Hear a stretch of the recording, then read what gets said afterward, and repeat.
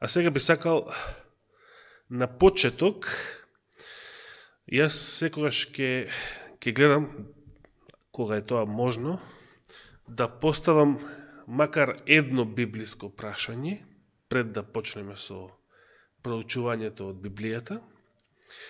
И тоа може да го наречам а, како не е тоа некоја нова рубрика, бидејќи е составен дел на беседата, на проповета, но ќе го наречам еден вид тренинг против деменција.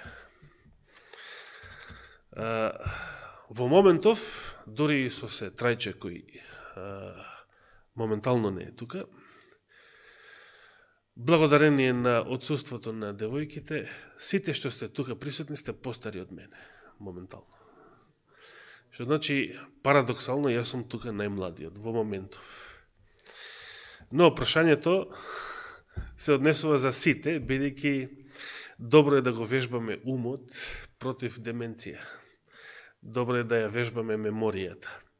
Па верувам дека прашањето што ќе го поставам а, има врска со денешното проучување, а ќе биде лесно да се подсетите, значи тоа е тест за меморијата само.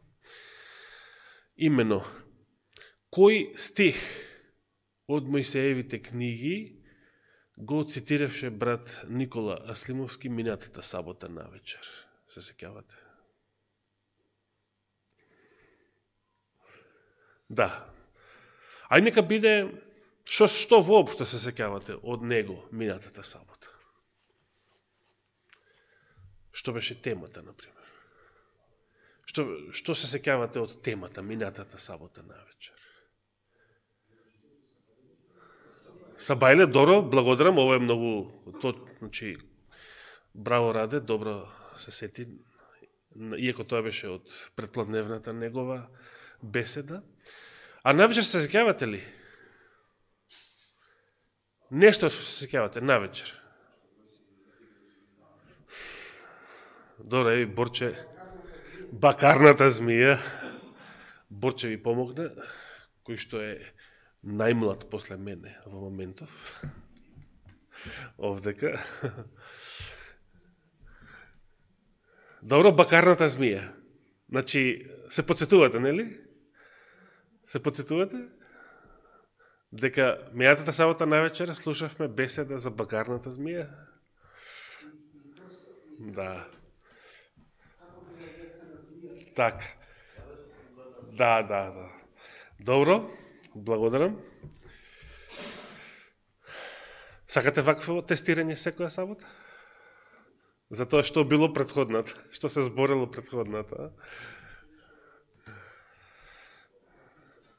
Добро, може, е, дека ќе има такво нешто, може да се подготвите, да речеме, во, уште пред богослушението, да дзирнете на интернет што се зборело минатата сабота. Може и така. Важно да тестираме меморијата.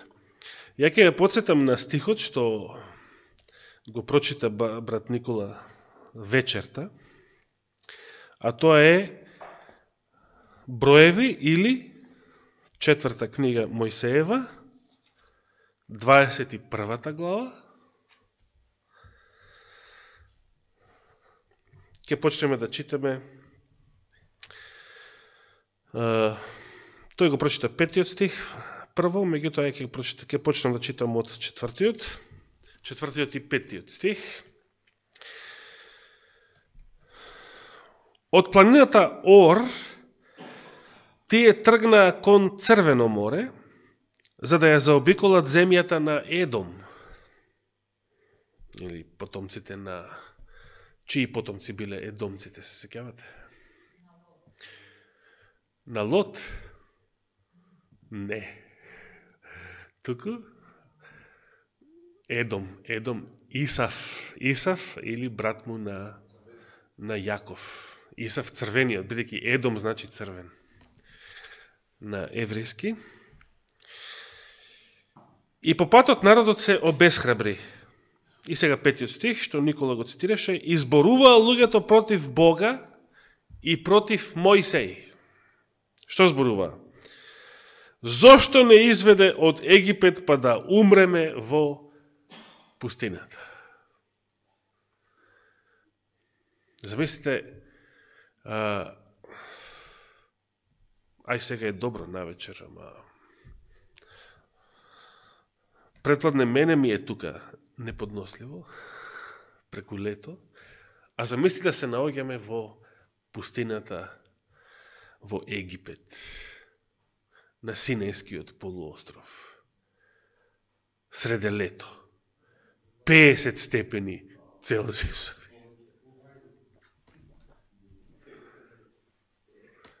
Како ли тоа изгледа? 50 во сенка? Што вика? Значи во пустина, тука нема ниту леп, ниту вода, и она најстрашното, а и на душата наша ни омрзна. Што?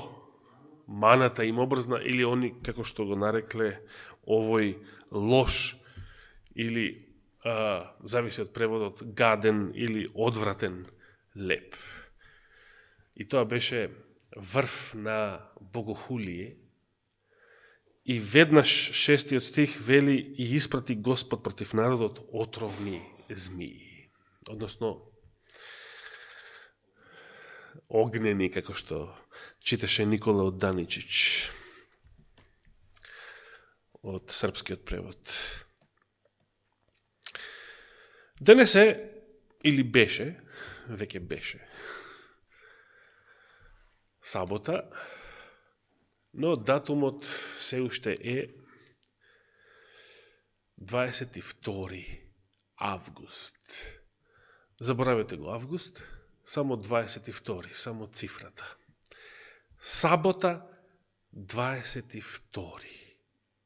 Дали ве подсетува ова на нешто од Библијата? Ова е малку потежок мемориски тест.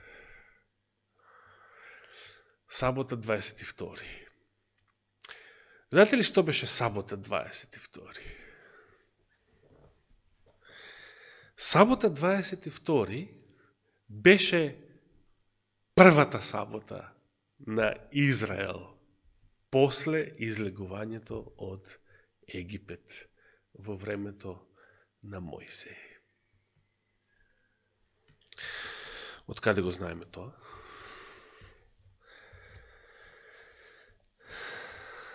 Прво да се подсетиме, дали знаете кога, датумски, кога Израел, на кој датум и месец, значи ден и месец, Израел излезе од Египет.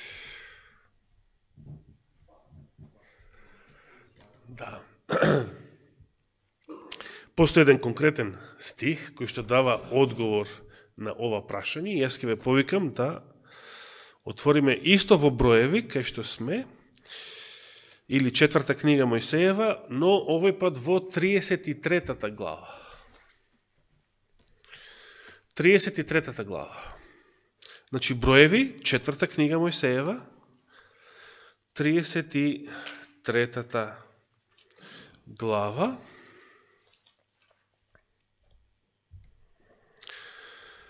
Ке почнеме, ке ги прочитам првите три стиха.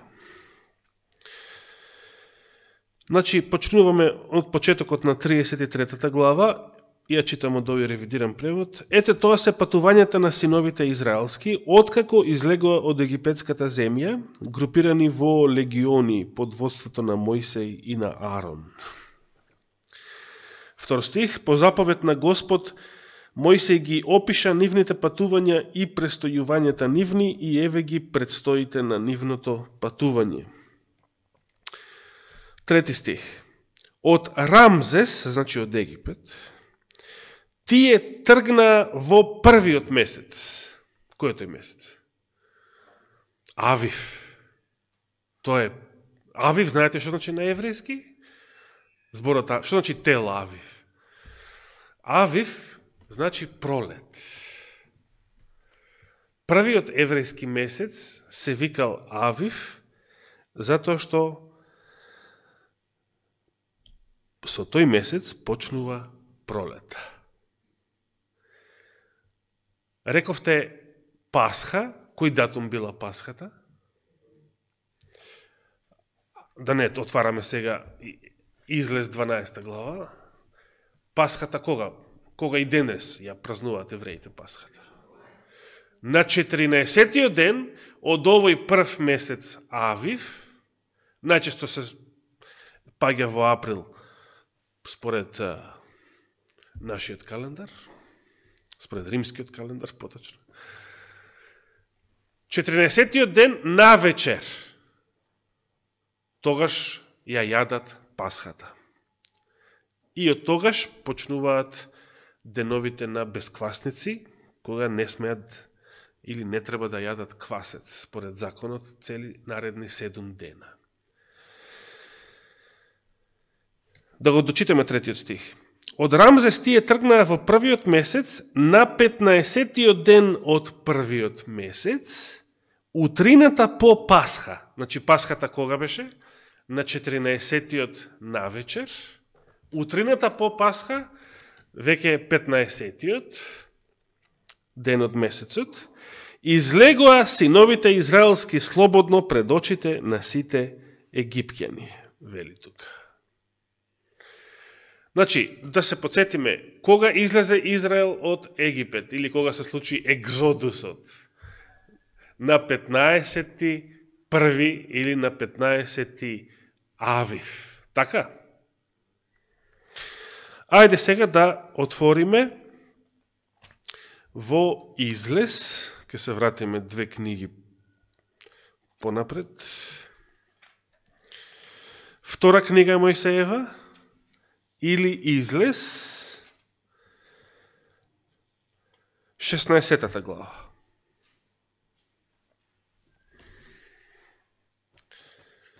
Втора книга Мојсеева или излез 16 глава. Како почнува главата?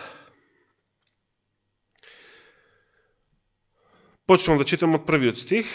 Од Елим се крена и целата заедница на синовите израелски, дојде во пустината Син, која се наоѓа помеѓу Елим и Синај, кога дошле во таа пустина, во 15 ден од вториот месец, откако излегоа од египетската земја. Значи, откако го напуштија Рамзес, откако излегле од Египет во 15-тиот ден од првиот месец, Авив, кога стигнале во пустината Син, што значи во превод месечевата пустина, пред гората Синај, што во превод значи месечевата планина. Точно месец дена, Значи, од 15-ти во пустината стигнале 15-тиот ден од, од вториот месец. Месец дена. И кога поминале низ Црвеното море, и кога Господ ја исподави египетската војска во тоа море, и понатаму кога дошле до првата оаза во Елим и така натаму, за да стигнат до всушност Елим не беше првата станица, но за да стигнат до пустината Син, им треба месец дена. Точно месец дена. Што представува 15-тиот ден во врска со месечевите мени? 15-тиот ден од месецот. Било првиот, било вториот, било кој месец, 15-тиот ден, што представува? Која месечева мена е 15-тиот ден од месецот?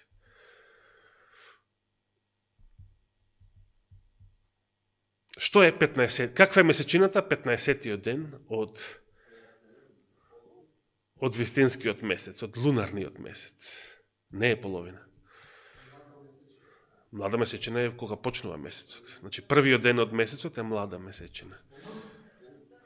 Полна. Полна. 15-тиот ден е полна месечина.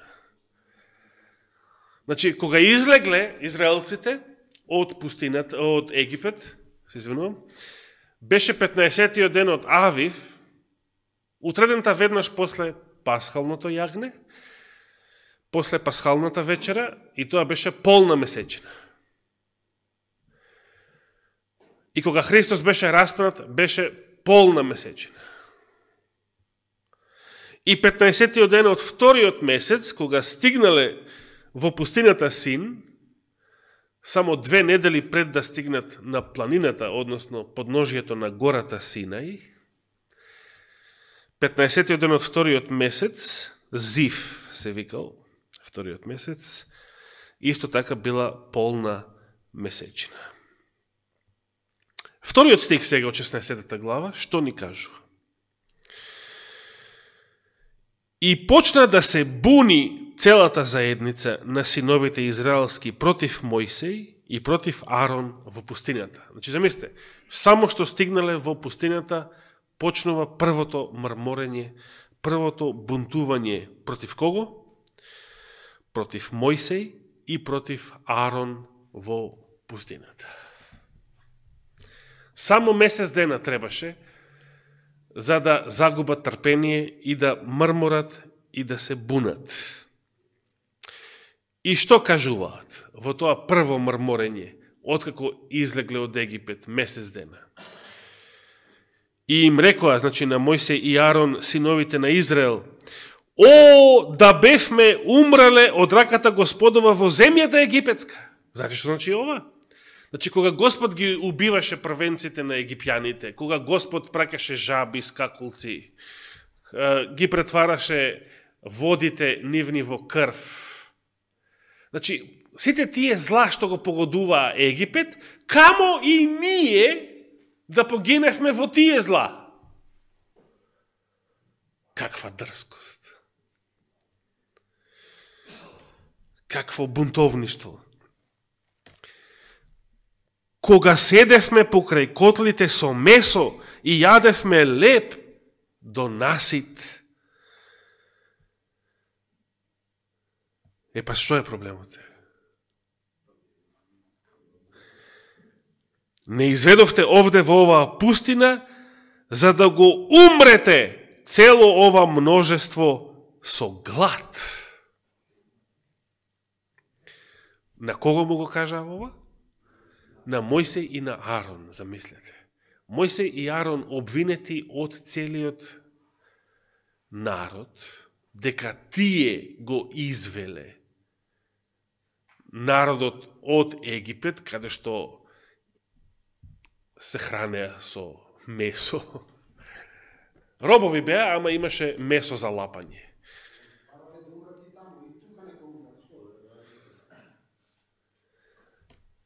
И сега во оваа пустина, кај што нема ниту трева, а камоли месо, не им престанува ништо друго, освен да умрат. Не изведовте овде во ова пустина за да го умрете целото ова множество со глад. Но ова беше првото мрморење. Значи, тоа од броеви, четврта Мојсеева, Тоа беше едно од, од последните, да речеме. И тогаш, после тоа мрморење, после тоа богохулие, веднаш искочија змии во пустината. Значи, тука немаше милост. Почнаа змиите. Но сега во при првото бунтување, четвртиот стих вели, а Господ му рече на Мојсей, еве ке пуштам да паѓа леп од небото. И сега ова, ако даде Господ, ја ќе планирам и следната сабота да проложам со оваа тема, значи за маната, небесниот леп, така ќе се вика, небесниот леп, и ќе биде на делови. Значи, денес прв дел. Небесниот леп,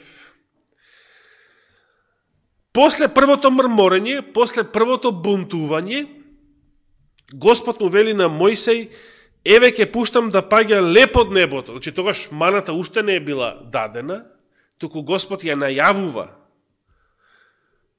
после ова прво мрморење. А откако јадеа, со години откако јадеа мана, кога тогаш промрмореа, во Броеви 21 глава, и дори рекла на нашата душа и се огади овој леп, значи маната, е, тогаш искочија змиите. Но, тука во излез 16 глава се уште беше рано. Значи, само прво роптање, прво мрморење, прво бунтување, кога на вистина логично нема што да се јаде, што има во пустината да се јаде. Освен самите змии, може би гуштери, да ги ловиме и да ги да ги јадеме, како кинезите.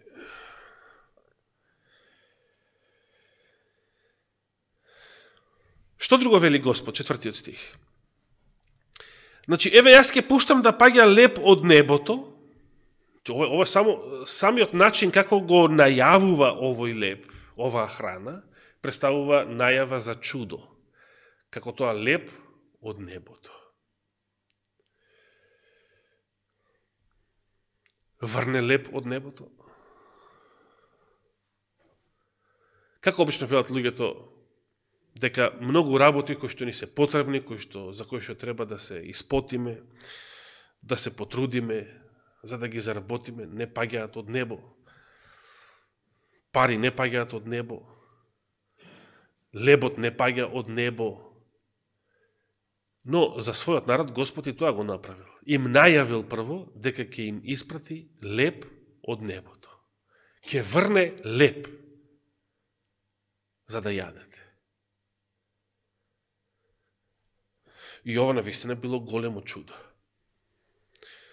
Многу, многу векови подоцна, евреите го прашуваат, фарисеите го прашуваат Исуса, нашите татковци јадеа небесен леп во пустината. Тоа се уште во Христово време го смета за големо чудо овој настан. И затоа од него бараа знак, а, а ти што ќе направиш? Ти можеш ли да направиш нешто поголемо или барем исто такво чудо? И кој ќе стигнеме до таму, до Јован 6 глава, може би ќе стигнеме, сигурно пред света вечера планирам да стигнеме, до Јован 6 глава со оваа серија Небесниот леп, за самата причест да представува кулминација на ова проучување. Господ го најавил тој леп, дека ќе биде леп од небото. И вели, и народот нека излегува секој ден и нека собира колку што е потребно за тој ден, за да го проверам, ќе постапували според законот мој или не.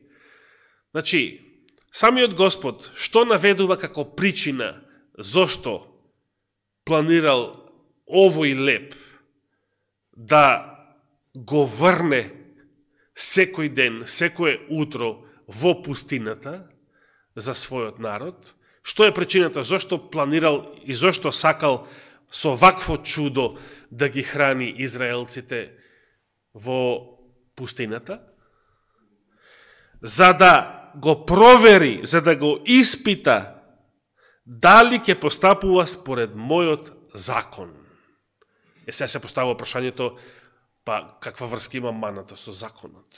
Што е тука за проверување, за проверка, за испит?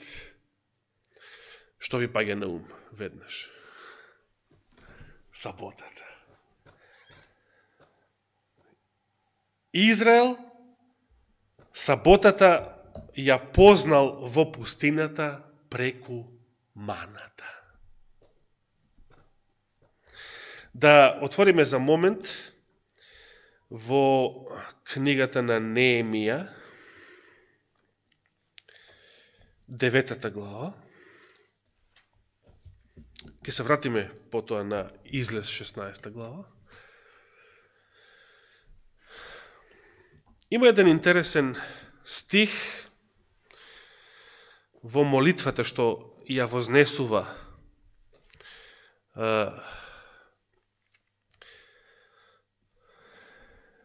Ездра се вели дека ја кажува оваа молитва, но е запишана во Неемија 9 глава. Да не ја читам целата молитва. да се префрлиме само на 13 и 14 стих, иако молитвата почнува од 6 стих. Значи, Неемија, девета глава, молитвата на Ездра, ќе ги прочитаме само 13 и 14 стих. Значи, Ездра, молејки се, му се обраке на Господа и вели, и слезе ти на гората Синај, и говореше со нив од небото, и им даде праведен суд, вистински закони. А какви закони носат партиските парламенти било каде во светот? Носат фейк закони, со денешен речник, или фалш закони, или лажни закони. Но Господ, кога го објавил неговиот закон, тој на својот народ на својата држава, теократијата, и дал вистински закони. Така Ездра ги нарекува. Вистински закони, наредби и добри заповеди. Како и апостол Павле, што ќе напише во Римјаните, се секавате 7 глава 12 стих, а законот е свет, праведен и добар. И заповета е света, праведна и добра. Ездра го кажа истото. И 14 стих. И им ја покажа Твојата света сабота и преку Твојот слуга Мојсеј им даде заповеди, наредби и закон. 15 дури вели, и кога гладуваа, ти им даваше леп од небото леп од небото, да завртиме близко до немија се псалмите, да прочитаме уште еден стих од псалмите, 78 псалм, каде што псалмистот се навраке на ова иста тема за небесната мана. 78 24 стих, 78 псалм, 24 стих и 25-тиот, може да го додадеме, па им истори дошт од мана да јадат, вели псалмистот, и им даде леп небесен. 25-тиот, леп ангелски јадеше човекот. Тој, Господ се мисли, им испрати храна до наситување. Се враќаме на Излез 16 глава. Значи, кога Господ го најавува овој небесен лепо четвртиот стих, на народот му вели, нека излегува народот секој ден и нека собира колку? Колку што е потребно. Много интересно.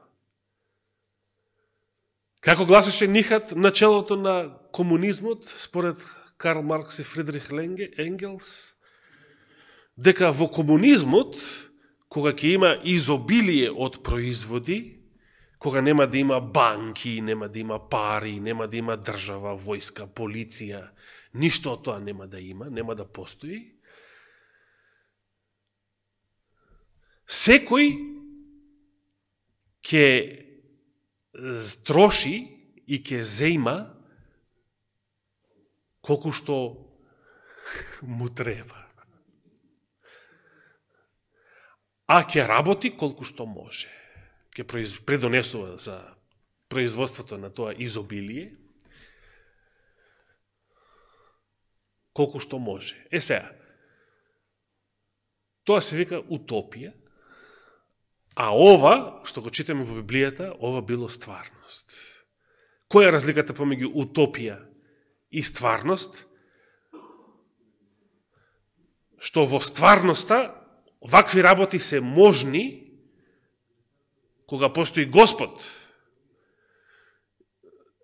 кога постои Божијата држава, теократијата, а каде што се трга Господ на страна и каде што се проповеда дека тој не постои, тогаш ваквите најави и ваквите пророќства за некоја блажена далечна иднина се само утопија бремајката ке живееле луѓето без војска, без полиција, без држава, без банки, без пари, ќе произведуваат изобилие, ќе живеат во хармонија, во слога, значи никакви војни, ништо од сето тоа, нема ни војски да има. Ќе произведуваат изобилно многу, а ќе трошат и ќе зимаат колку што им треба и сето тоа без Господ. Во оваа грешна природа. И пасте, луѓето тоа го верувале. Луѓето тоа го верувале. Но само со Господ вакви утопии може да бидат реалност и ќе бидат реалност на новата земја. И ќе бидат реалност во новиот Ерусалим. Биле се и ќе бидат реалност за секогаш во Божјата држава, во теократијата, во Божјето царство –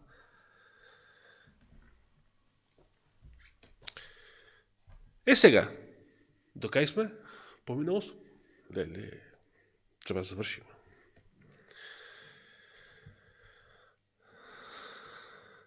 Значи, го прочитавме само четвртиот стих. Или до тука дојдовме. Од излез 16 глава. Ке го прочитам само петиот уште, а во шестиот ден нека го сготват она што го собрале И тоа ќе стане двојно од она што го собираат секој ден. Значи, Господ најавил однапред дека во шестиот ден ќе заврне двојно поголема количина мана и самите израелци ќе требало да соберат, значи по заповед, двојно поголема количина. Е сега, кога почнала маната, значи следното утро, 16-тиот ден од вториот месец. Имаме шестиот ден на кој датум паѓа? Значи, на, утрото на 16-тиот ден од вториот месец почнала да паѓа маната. Шестиот ден на кој датум паѓа? Значи, првиот ден е 16-тиот. 21 21 Зив или 21 Втори бил шестиот ден. И првата сабота што Израел примил заповед да ја празнува цели две недели пред Синај, уште пред да биде даден законот, беше 22. Сабота 22, како денес. Само денес е август. Не е пролет. И имаме римски календар со лажни месеци а не вистинските месеци, кои што почнуваат со младина, на средина е полна месечина и завршуваат пред следната младина. Е сега кога дошол прашање за размислување и ќе се подсетите, а кога дошол фактички шестиот ден, значи пред тоа пет дена собирале и јаделе мана секој ден, и кога дошол шестиот ден, што го праша израелците Мојсе, се секавате? Ај тоа го оставам да го прочитаме и да го одговориме прво што ќе одговориме следната сабота, ако даде Господ живот и здравие, во вториот дел од Небесниот леп. Нека му е фала и слава на Господа. Амин. Оче наш, ти благодариме за овој час што брго измина. Ти благодариме што се напоивме од Твоето Слово, од духовната крана која што денес Ти ни ја испрати. Ти благодариме за секоја Твоја добрина и милост и секој Твој добар дар во сите години од нашето минато. Иако сега живееме во многу потешки и потажни денови отколку порано, сепак веруваме и се радуваме дека најдоброто допрва доаѓа а тоа е доаѓањето на нашиот Спасител и Господ, Твојот возлюбен Син, и вечноста, воскресението и вечниот живот, безсмртноста во Твоето царство. Те молиме, Господи, спаси не, оправдај не, посвети не со крвта Христова, распушти не во Твојот мир, води не и чувај не во оваа нова седмица. А за сето тоа те молиме и ти благодариме во Христово име. Амин.